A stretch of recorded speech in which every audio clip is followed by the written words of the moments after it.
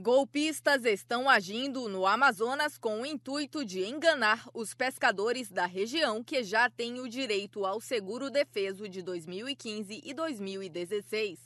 O deputado Dermilson Chagas informou que foi procurado por vários pescadores que informaram que estavam sendo chamados para reuniões nas quais pessoas afirmam que eles só receberiam o pagamento do seguro defeso a partir de ação judicial.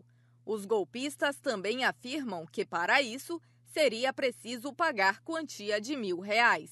O que está acontecendo é algo que nós temos que alertar os pescadores e pescadoras. Algumas pessoas estão querendo se aproveitar de uma situação de um direito que eles já têm.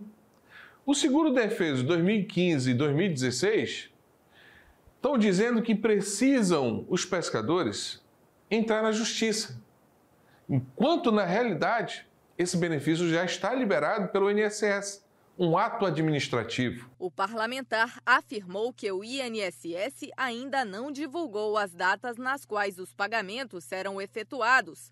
Porém, isso não significa que os pescadores terão de acionar a justiça para receber o dinheiro porque esse direito já está assegurado e foi determinado pelo órgão federal. Infelizmente, este órgão, o INSS, não marcou a data para o pagamento do teu benefício.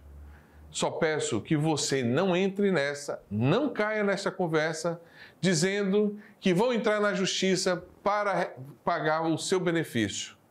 Não acredite. Isso é golpe.